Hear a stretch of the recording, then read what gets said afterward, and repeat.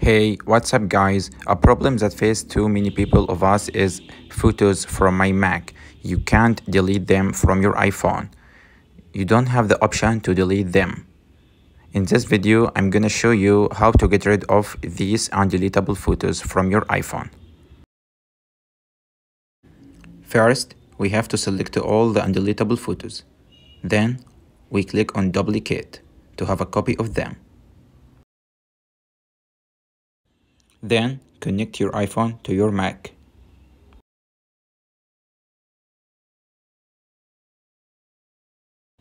Then choose an empty new folder to sync your iPhone with. It's better to call it an empty folder to be recognized easily. After we choose the empty folder, we click open, then apply.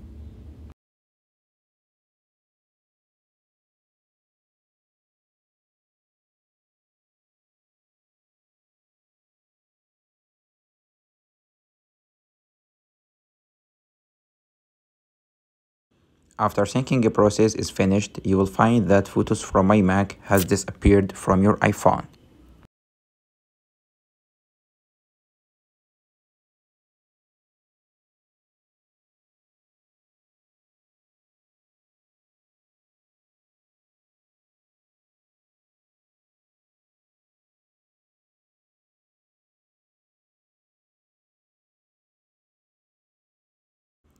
Because we have duplicated them previously, you will find them in the recent photos like any photo on your iPhone.